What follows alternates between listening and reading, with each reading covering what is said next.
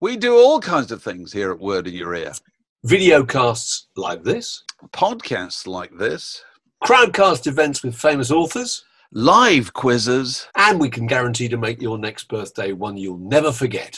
There's only one way to guarantee getting all of this, to getting it before anybody else, and that's to sign on to be a supporter on Patreon. Full details at this address. Word in Your Attic, a Zoom with a view. Okay, welcome to another Word in Your Attic. Um, and we're delighted to be joined by, or to join, Steve Carr. Good morning, Steve. Lovely How are you doing? How are we Uh, doing? And where are you, Steve? Where do we find you? Um, I'm in Leigh-on-Sea on the on the Thames Delta. As Oh, the, right. people Nice.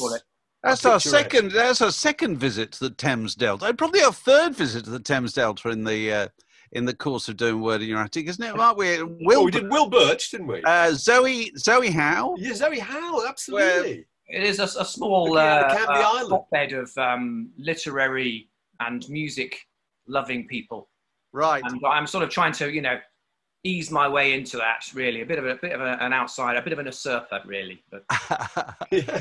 so what brings Steve here is uh, your, well your blog. Every record tells a story, and uh, and mo- most recently you published a book. Tell I us about the book. that's very kind of you to mention it. Here, here is Go a on. copy. Lug Um, away. we might as well just get that in there, mightn't we? No, Absolutely, absolutely. Yeah, yeah, yeah, yeah. so this is uh, I, I wrote a, a book. Um, it's called Every Record Tells a Story, a vinyl handbook, um, and the premise of it is effectively that uh, there's a bit of a vinyl culture out there at the moment where people are um, getting very excited about what is a fairly old format, and um, you know we, we chucked away all our records in, in, when CDs came along, and um, then Jack White sort of told us, well, your turntable's not dead. Maybe we should be reviving all these things, and you can tell by uh, your background, David, that perhaps you didn't get rid of all your record collection entirely. Yeah. Um, but, but for some of us, we did. And so there's now, a, vinyl's now coming to a, a new generation of people. Um, and what's the blog? The blog started as a way of trying to navigate uh, that, that reintroduction to vinyl. There are, there are, the vinyl culture brings lots of interesting uh, new things that we perhaps we didn't have to navigate in the, in the 1980s and 70s um, posting on Instagram sort of slightly mawkish pictures of yourself surrounded by Prince records on the anniversary of his death or and it, it's the sorts of things that, that we should, um, you know, try. I, I want to guide people past these things to try and find where the, the real nuggets uh, and real reasons why we should be interested and excited about vinyl again. Right, no, fair enough. It's really interesting actually. When I I published a book, A Fabulous Creation, which is about the era of the of the vinyl LP, and what what I Never heard of it. There Good work. go. Very good. We hadn't What? planned this, viewers, No, no. I'm not Yeah. plugging the book. I'm just making a point. Uh, when we're trying to get photographs, trying to get photographs of old record shops from the days when there are loads of old record shops is Mhm. really hard. You can now find millions of photographs of kind of re, you know, recreated record shops. You know, Paul Weller surrounded by vinyl as, as far as the eye can see, all Yeah. shot last week.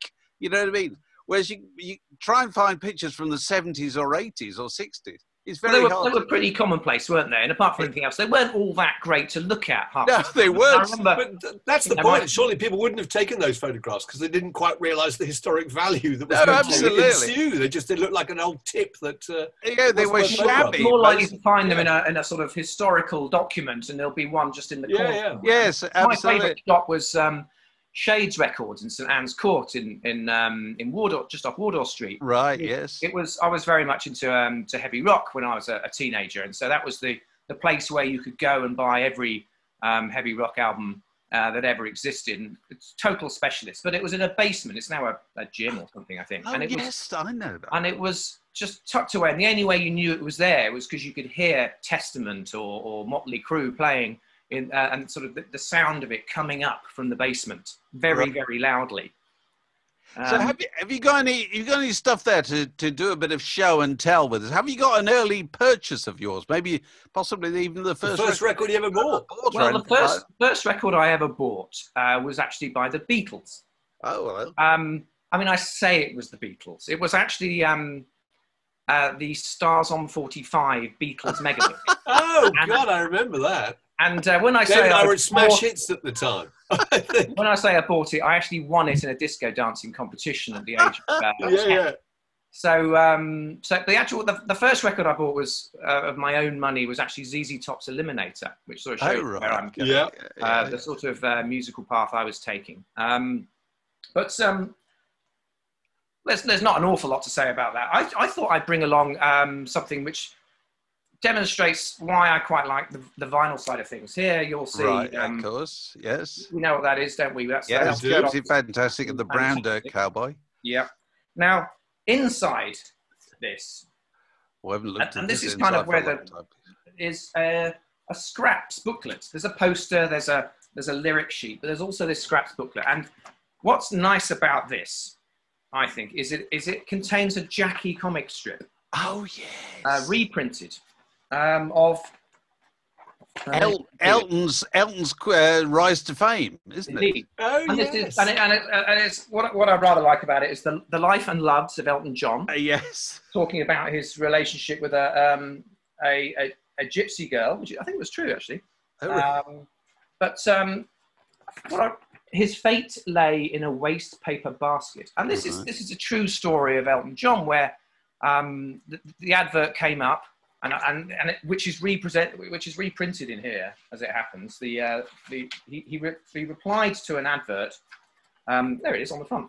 Liberty it was the Liberty Records. what talent, Yes. and so he replies Oh, to that. this is how he met Bernie. Yes, right. Yeah. Yes. Exactly. He, he replies to that, and, and um, he, they, they bring him in for an audition. And um, he sort of plays a few songs, and they don't like him. They think he's a bit rubbish. So he, they say, okay, well, thanks very much. We don't really have anything for you. So he's a bit disappointed. Um, and this is, this is a good couple of weeks after they've put the advert in. And then they say they feel a bit sorry for him because he's been hanging around the studio a bit. And so they say, well, look, somebody, some kid has just literally just handed in these um, these lyrics. Would you like to see them? Now, the story of those these lyrics are that Bernie Taupin saw the same advert and replied, and then lost the letter. And if it hadn't been for Bernie Taupin's mum finding the letter and not throwing it away, hence his fate lay in a waste paper basket, really. that would never have happened. So we can thank Bernie Taupin's mum for tidying up, finding the letter, and then posting it.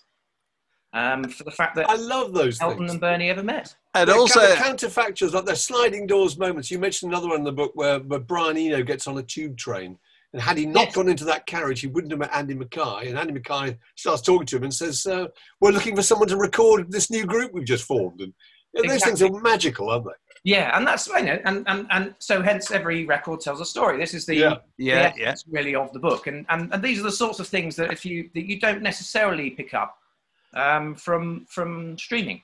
I mean, No, streaming, no, the oh, one that- absolutely, definitely. I No. mean, 'cause it is, is one of the points I, I, I often return to is that in the days of records, the thing about records, you used to read them before you bought them. Mm. You know, you you got information from them by going in the shops and looking in them, and Yeah. if you were lucky, going, you know, the fold out and so forth. I mean, you wouldn't see the. I'd forgotten that Jackie, uh, that Jackie insert. So that was the, that. Yes, it was there because my my main memory of Captain Fantastic the Brown Dirt Cowboy is Elton was so kind of you know full of himself at the time that he played Wembley Stadium not long Yeah. afterwards and played the whole record in order in front of a, a bunch of people who'd never heard it before. But following, didn't he follow the Beach Boys or somebody? somebody They, the Beach Boys have been on just done the most blinding set. You know? hit after hit That's after right. hit. And now I'm going to play obscurity after obscurity after obscurity. Yeah, yeah. Who, who do you think of went down still best? Conspiracies as well, aren't they? I mean, you know, they, they- it has a couple. It has a couple of uh, songs on it. Someone saved my life, or whatever it is. Absolutely. The best, the best Yeah. song is the one about the suicide. That's the high point. It's about somebody getting your head out the oven. That's the happy song on that record. And, and, and again, a true story. toe tapper. He actually did put his head in an oven. yeah. He did, but he, but he kept the window open, didn't he? Yes. He did on gas gas mark four. That's very. so he's kind of half-hearted, I think. That's Yeah. very good. True, so what true. else he got there, Steve? Okay, so um, uh, exhibit number two. Go on.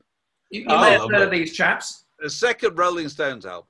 Very Great. well identified because there's no other. Um, uh, now, this is a record um, that was that was mentioned in the House of Lords, Oh, right. and I think so. You know, there's the story here, and I've I've sort of you know I don't I've written it down slightly so that I can remember some of the details. Um, so it's released in 1965 in January, and Mrs. Gwen Matthews, secretary of the Bournemouth Blind Aid Association. Oh, I know where this it. is going. Now, now, why did she take offence? Um, well, I'm going to hold up a, a sort of. Um, there we go. This is- That's an, e- that's an extract from the sleeve note. It is, and I've got the sleeve here. Now, what it says is this is the Stones' new disc within. Cast deep in your pockets for loot to buy this disc of groovies and fancy words. If you don't have bread, see that blind man, knock him on the head, steal his wallet, and lo and behold, you have the loot. If you put in the boot, good, another one sold. Now, you could argue that that's not very nice. It's all right back then, but now we get upset. I mean, yeah, it, it was yeah, in yeah. the 60s when that sort of thing was acceptable. Yeah, yeah, yeah. But uh, no, it, it wasn't. And um, Mrs. Mrs. Uh, Gwen Matthews then um, took offence to that. Uh, you know, even though you know there's some impoverished Stones out fans out there who might have needed the money, and she was quoted in the press saying, "They're horrible. It's putting ideas into people's heads. I'm writing to Decca to ask them to change the cover." And then the House of Lords, Lord Conesford. Um, I don't know who Lord Conesford is, but I'm sure he's very important. He asked the Director of Public Prosecutions whether the sleeve constituted a deliberate incitement to criminal action. and then the chairman of Decca Records then had to, had to make a comment. He, he said, I'm told this inscription was meant to be humorous, but I'm afraid this jargon doesn't make sense to me. And, and then he arranged for stickers to be placed on some of the sleeves. Now, is, Oh, this, really? is this true? Well, actually, here's my copy. Oh, what? Oh, you've got There's with an actual sticker. That's There's a sticker. fantastic. I I've never seen that We- We've sort of scratched. We've sort of- somebody sort of scratched it just to see why there was a sticker on there, and it's because and it's a, it's covering Oh, up the that's pending words. absolutely brilliant. I mean, that must add to the value of it considerably, doesn't I it? don't, I don't know. That does, I don't think it adds to the. And It's not about value really. It just adds to the Yeah. sort of the story of it. Yeah, And that's that's what's so nice about it. Yeah, yeah. That's fine. Now I remember that. I remember that kind of. Well, it was. It wasn't a major Ferrari as it would be nowadays. You know, Hmm. nowadays it'd be on the be on the BBC Cover News, of every- the full item or whatever. Whereas this was this used to get it got in the it got in the papers, got in the music papers. But nobody seriously thought Andrew Oldham was suggesting anybody should uh, terrorise, you know, a visually handicapped person or whatever. No. Well, But, uh, uh, and, and good thing too. It would have been a bit. No, absolutely. But I, I suppose also all that stuff was just grist to the Rolling Stones mill, wasn't it? He's like peeing in the garage wall and all that stuff. It was all good for them, you know. all, all publicity is good publicity. They Yeah, say. absolutely. Yeah. So, uh, did you have to seek out that copy, or did you just? Just how did you find I mean, it? how do you find out? Are they rare those copies? Well, this was this was a bit of a coincidence. So um, I, I, this is part of um, what we do in in the book. Is is, is, is I have a, a friend of mine, and we we um, we had a bet, and it was really to say, well, we couldn't work out whether we'd actually played any of the early Stones albums or ever actually heard them, and we wonder whether they were just full of old Chuck Berry covers, and and um, whether it was whether they were actually any good. They're really And so good. what we First- did, was, yeah, so we so we bought them, and um, we went out, bought them, and then played them and listened to them, and decided whether or not it was it was worth doing so.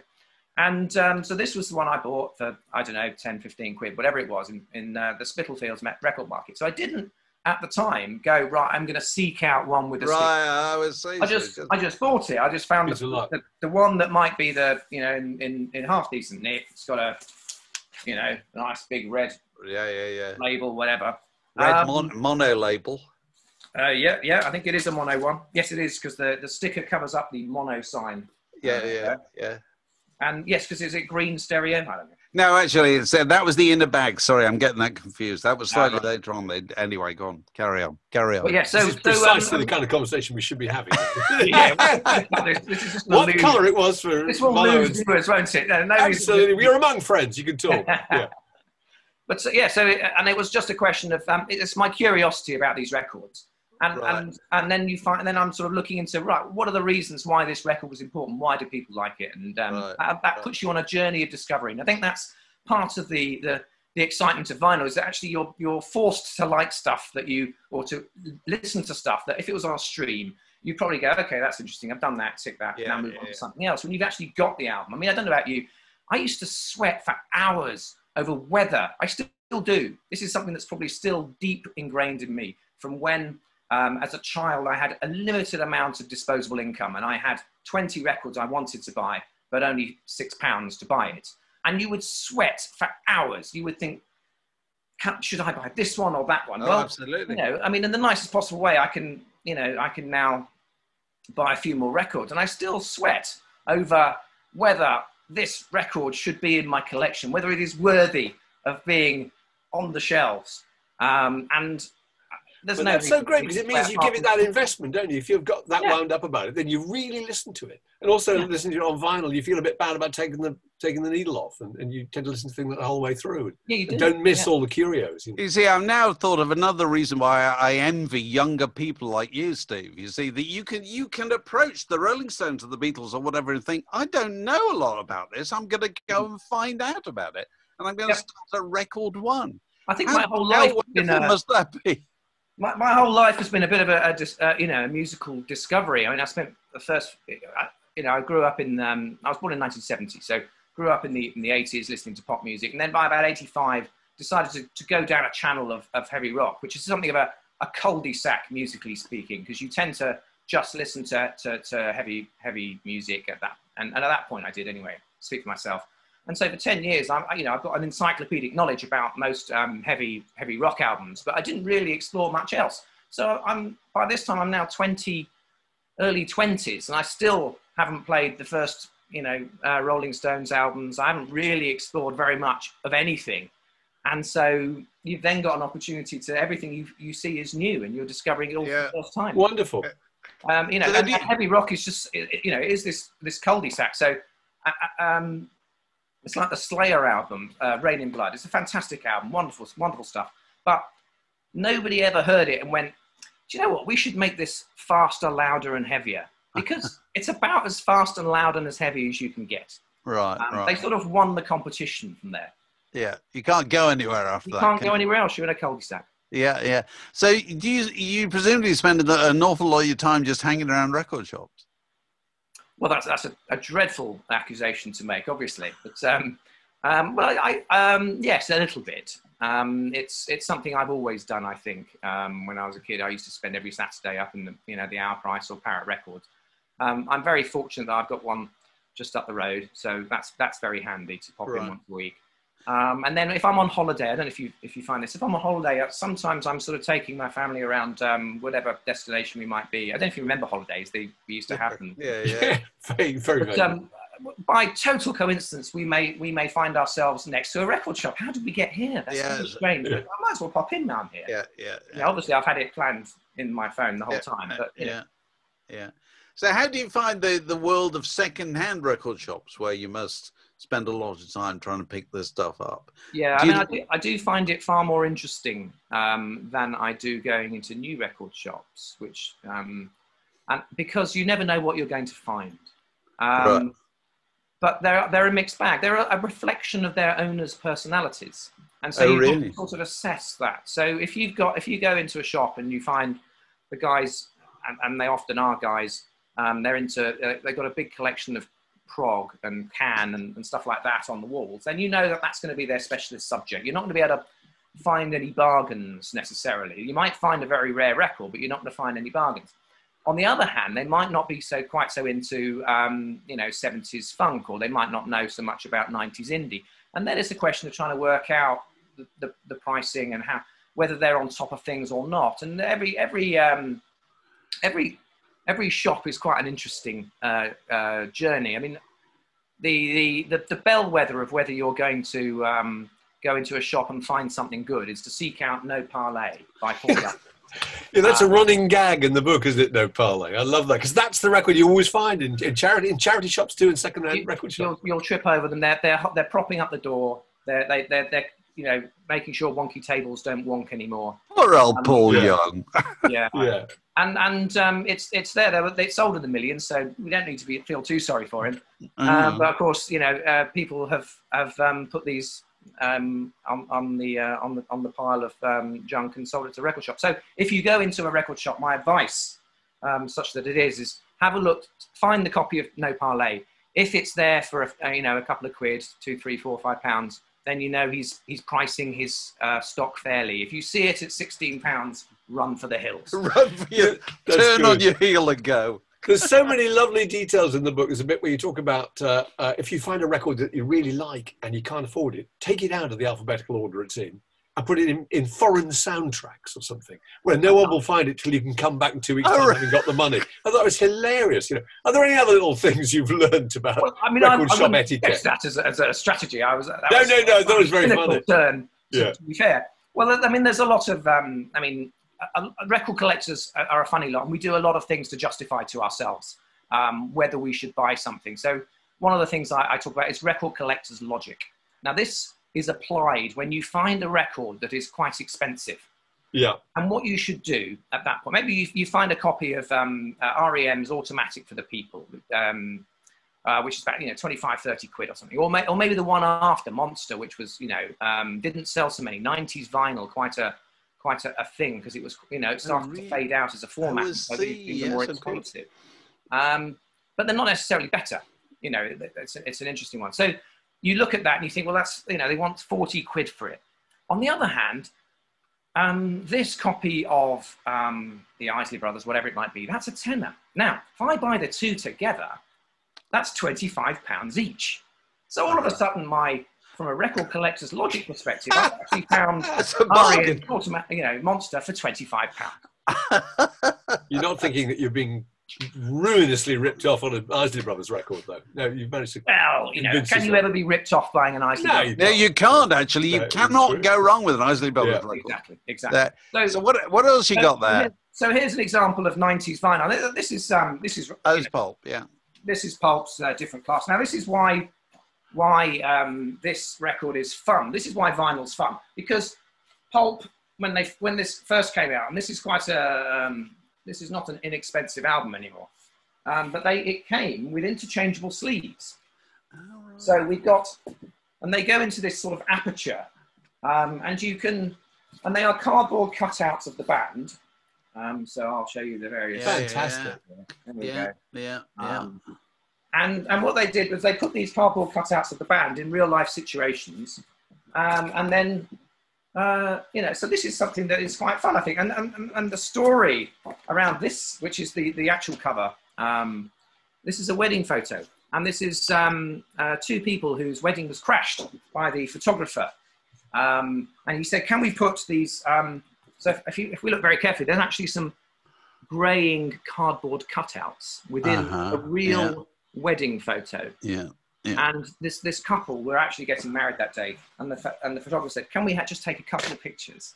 And they said, "Oh, okay, yeah." They sort of they knew him; he was a friend of a friend, and um, so they agreed. And they didn't know it was going to be used for the cover of uh, Pulp's different class until it came out. Um, That's absolutely astonishing. So they never cleared it with them. no, well, they you know they they, they knew the, the photo was being taken, and, and it was on their wedding day. And that's, that's the bride's and groom's mothers and parents. And, and, and They so were on risking a bit of a legal action there. Yeah, they would have been in America. Yeah. Well, I yeah, think they my did get God. tickets when uh, Pul- I think there was some sort of uh, you know uh, favour made at, at a later stage. Yeah. Yeah. But um, this, this this takes us on to the, the point about '90s vinyl. Now that's a that's an expensive album, and, and um, '90s album. You know, I can see with with 1970s secondhand um, album, it's all analog. There's no digital mastering. There's no you know because there wasn't digital consoles back then, so you know it's an analog sound. And and, and if you're Yeah. very fussy about that sort of thing, which I can't say I am, but if you are, then you know you've got the original as it was meant to be heard. Now with 90s, it was all it's all done on um, digital pressing. So is there any point? Is the question to getting an original 90s pressing because they are quite expensive. Yeah. Yeah. And, and, and, as, and so I argue in the book about the pros and cons of, of this. Here's, here's um, one of the exhibits for why you shouldn't bother getting an original.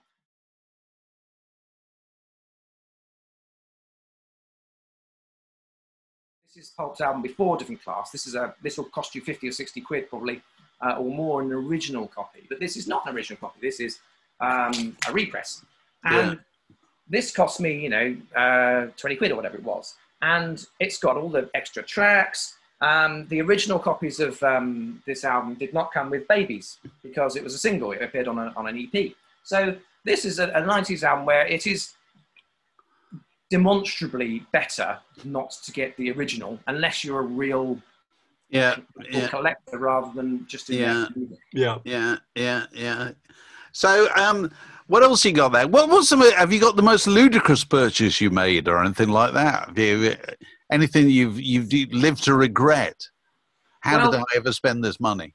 Well, if we can, we, let's veer away from the subject of, uh, of records for a moment. Um, the most lu- ludicrous uh, object is possibly this. Now, this was a thing rock and roll comics. I don't know if you can see this. There we Oh, go. right. Okay. All right. Now, here we have. Um, this was this was they're very much a thing. I've got I've got quite a few of these uh, that were bought. We got one by Queen here. There's the Rolling Stones, and this is the you know I mean I know that you know Greil, Greil Marcus. There are people who who write very seminal uh, works, um, yourself included, David. This this is um, you know maybe this has literary merit. Um, shall we shall we have a quick look? oh, go on. Yes, go on. now, Later that day, three dots. yeah. As David belts out this classic Whitesnake track, Olson is secretly recording, and Olson's thoughts are he's ready and willing. See what they did there. And perhaps the best part of this is the, the key moment in the history of Whitesnake when Rudy Sarzo, the bass player, is surprised when a portion of the stage collapses beneath him. And I don't know the, the beautifully portrayed. Oh, right. Okay. captured the drama. they Yeah, captured- absolutely. Yeah, yeah, yeah. that- That's It's still playing, I know. Yeah. I mean, who needs, you know, any kind of, you know, we're That's redundant, great. David. There's no point when you have something as, as truly great as that, is there? um, also, on the slightly more ludicrous side, um, let me. I thought I'd sh- share with you this. Um, Oh, right. now, this is a cardboard guitar.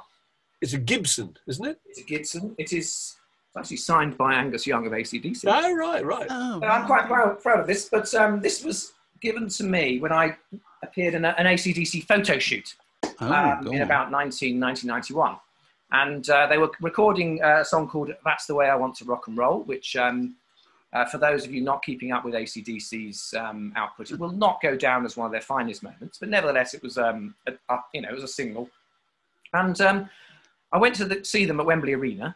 And then they, they handed out some flyers in the queue outside. If you want to appear in a, an ACDC video, come back here at 10 o'clock in the morning tomorrow and we'll, we'll film it. So I did and we had to hold up these these cardboard guitars. There we are, and sort of wave them, and then they had to shoot it from behind. So we had to turn around the guitars and then wave them that way. The magic of the magic of television. And then, um, so I was very excited about seeing me on, on an actual ACDC video.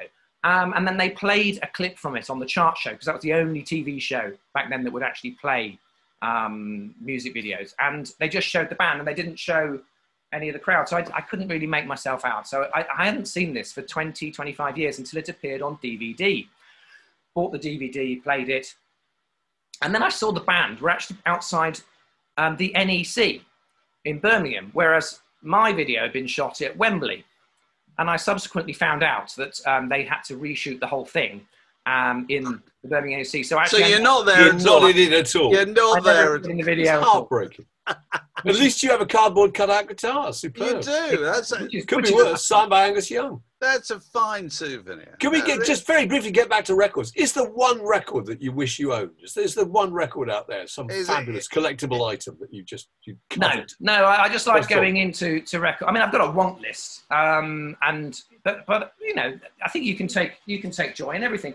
Now, now um, here, here's uh, an example of um, something. Actually, let's let's let's take this one. BB King. Yeah. All right. Yeah. So this this is a sort of distillate of where I come from, really. You open this up. This is Indianola, Mississippi Seeds. This is not a very well-known record. I, I found this for less than a tenner in a shop. Now it's got it's got um, the um, it reprints his birth certificate. Albert King's his dad, not the Albert King, I assume. No, no. Um, and it's got his you know his prints, and then and then it says in here, Carole King appears on this record. And then you look at it and you think, well, that's actually this has come out in 1970, which is before no. Tap- Oh, is? Okay. Yeah. so, and then, and so this is sort of quite intriguing. And then you play it, it's, it's, um, it's Leon Russell appears on this as well. And the, the story around this record, which is something I, I talk about in the book, is that you know he this is this is his sort of crossover album to try and uh, appeal to um, not just a black audience but a white audience. And this is Leon Russell giving me a helping hand. It's a beautiful track on the back of that, Leon Russell's Hummingbird, which is just just a sensational um, track. This is something I'd have never never really discovered unless I found this this record and and and uh, in, in a in a bargain bin in Yeah, some minor shop. yeah. That, that's what's exciting for me about about records. Um, Right. I mean, you know, like here's here's Black Sabbath's um, debut. I mean, Sabbath have a fantastic story. Um, you know, you've got the the swirly. Uh, version Yeah. of. But this one's got. Uh, this used to be owned by uh, Kathy Davis. I don't know if we can see that. Oh, So, If you're watching, Kathy, now you know where it is. so yeah, I've got your I've got your record, Kathy. If you want it Yes. Um, but that you know that's great. I mean that, that that I got half price on that because it's got writing on it. You know, Oh, record it's, collectors uh, like that sort of thing.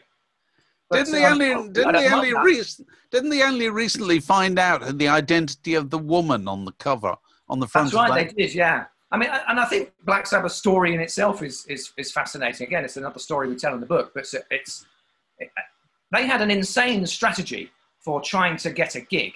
Um, they, they, you know, they they um, when they starting up, they would hang outside a venue in the hope that the the band that was booked wouldn't turn up.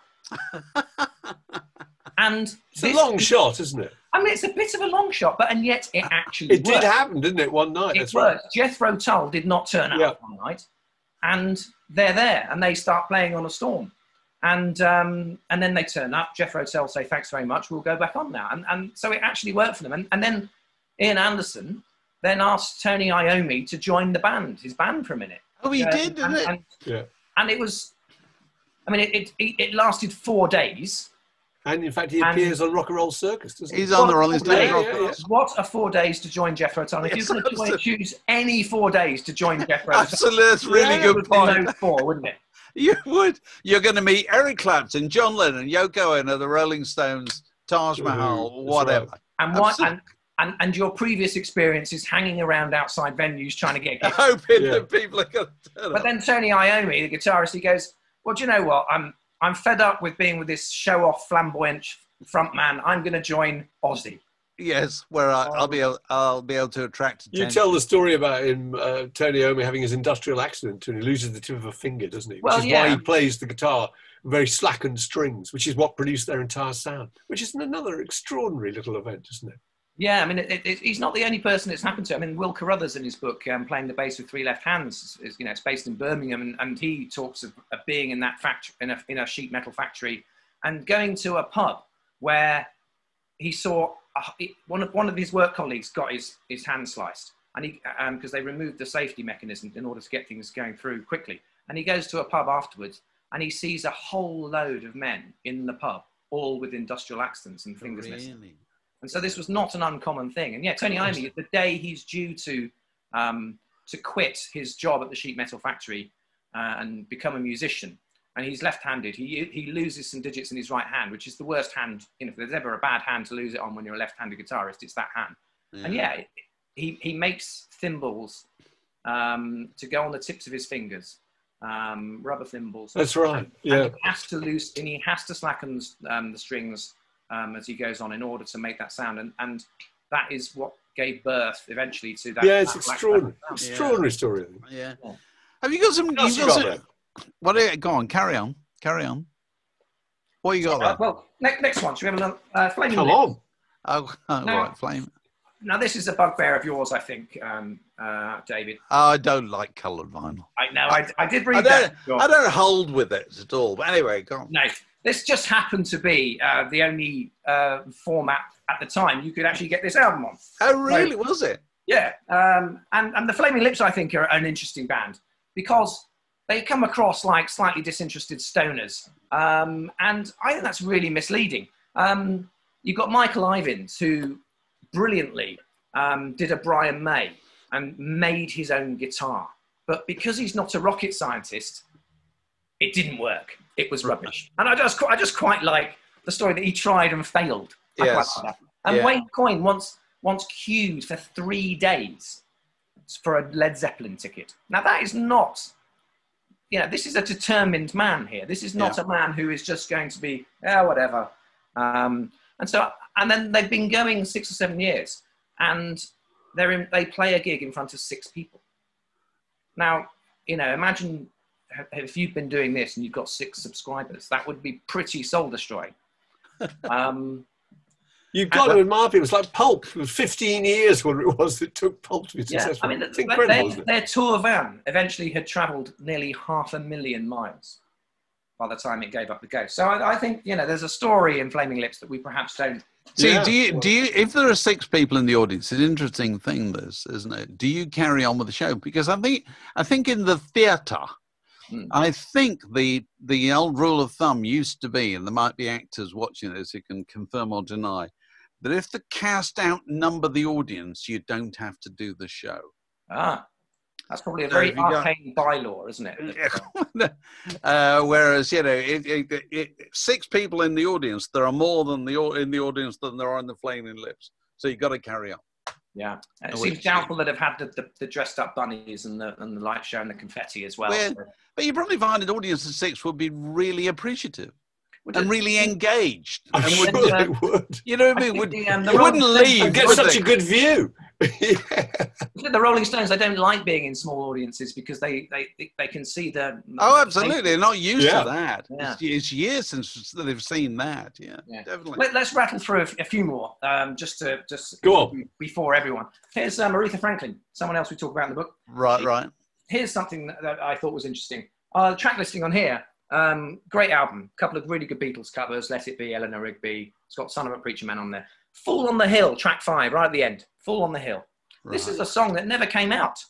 It's on the sleeve, but But never it's not on the record. So it's on. It's it's, it's not on the Oh, record. right. Look on the uh, on the uh, the. I mean, by the time pressing the pressing the record, it's been replaced by something. Uh, Sit down and cry.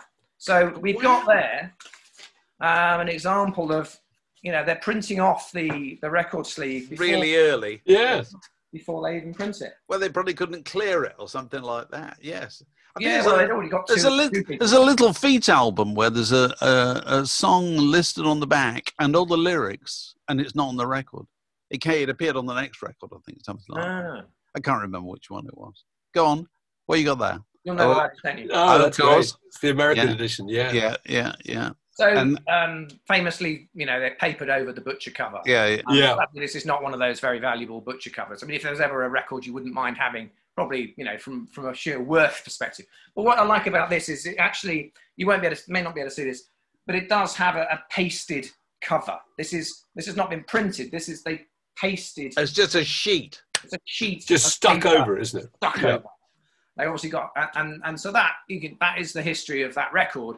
Uh, where they had to pulp a load of the, the butcher covers because they, they were offensive to, to the American audience um, and then quickly had to paste over. This is the only Beatles money that uh, Beatles record that lost money because they the, the Oh, production. costs. really? Oh, that's interesting. Really?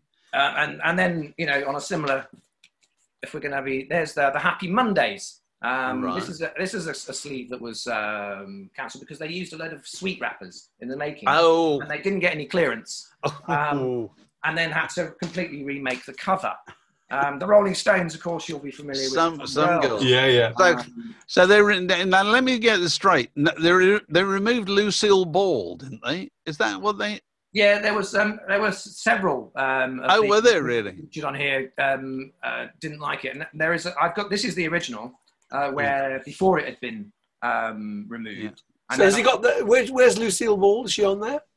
She'll be on there. Um, Yeah. I don't know how you are on um, on fifty. Uh, oh right, no, no, don't worry. Uh, Yeah. okay. Oh, that's fantastic. That There's must be one very valuable. yellow, one of them with the yellow hair, but they sort of um, messed around with the images as well, just to Yeah, just yeah. really annoy them. Uh, but yeah, subsequent copies of that then come with a sort of cover under under construction. Yeah. idea. Um, and yeah, so I mean, you know, I don't want to go on forever. Here's here's Bob Dylan's uh, Blood on the Tracks. I've got I've got a story about Bob Dylan which isn't in Have the. you? Uh, sorry, I'm going to interrupt you. Have you got the uh, one the blood on the tracks with the original sleeve notes? Ooh. Because Pete Yes. Hamill, who died only the other day, Yeah. wrote the original sleeve notes, Yes, he did. Well, got a Grammy Kicked award. I think got a Grammy award for best sleeve notes, and then they took the sleeve notes off. Is that right? I think I'm right in saying Right. that. Am I, I right, Mark? You're the Did deal they? I think so. I don't remember them being on there. Did they ever reappear? Well, they're possibly only on the American copies or something. I Yeah. can't remember. Um, Uh, yeah, no, I, I- but there you go. I thought this was a fairly mundane, ordinary copy of Blood on the Tracks. Oh, That- there's always a story. There's always a story. Well, I you, mean- I, I tell you, to Oh. give you an idea of how there's always a tor- story about an LP uh, cover. And Mark and I were talking about this recently. I did the thing about Abbey Road when it was the whatever anniversary it was, 50 years or whatever. And I, wrote- I wrote a thing in the um, uh, Mark Lewisohn, the great Mark Lewisohn, was doing a presentation about the the van that's on the cover of of Abbey Road, and you know, that, and that the guy, the reason it's there is the guy had gone on holiday for two weeks, and in those days you didn't have yellow lines down Abbey Road, so you could park it there and you could leave it. So I wrote a thing in Radio Times and mentioned this, and the reach of Radio Times is such that the guy who owned the van, who's still around, got in touch and said, "No, I wasn't away on holiday that week." oh, I used to, but I parked it there, and then I used to go down and see my mother, and then I'd come back and park it again. And you thought, you know, this is just a snap. Six pictures were taken of this one day in 1969, and still things we didn't know about it keep mm. on emerging. I love all that. which, Like the, little, the, the VW, the white VW, turned up for sale, didn't it? Well, that was the v- sorry, it was the VW I was talking about, not the. Yes, it was the VW. VW. That's right, yeah. Yeah, well, Got no, no, the VW VW is now in a, car museum in Holland, I think, or northern Germany or something like that. It's in a VW museum, I think. yeah. And this is why Mark Lewisohn's life is probably quite far more difficult than he ever thought it would be. Well, yes. So, Well, we're constantly saying about Mark Lewisohn and he must be in agony about the idea that whenever he meets people, he said, "Did you know so and so?" And Yeah, it's, yeah. it's something he left out. Don't want to know it's, anymore. do- it's Dr. Johnson's I dictionary in actually, had Blackadder. that, I actually had a moment like that where um, I, I did a tour of Liverpool last October, and I was talking to the taxi driver, and he and he said the first place that um, uh, Lennon and McCartney met um, is said to be at the in that um, the, the, the, the fair, the school Well, fair. Woolton, Right. Woolton Fair, yeah. Yeah, Yeah, yeah. but actually, um, and, and there is a, a, a sort of, it's a footnote in Mark Lewisohn's book.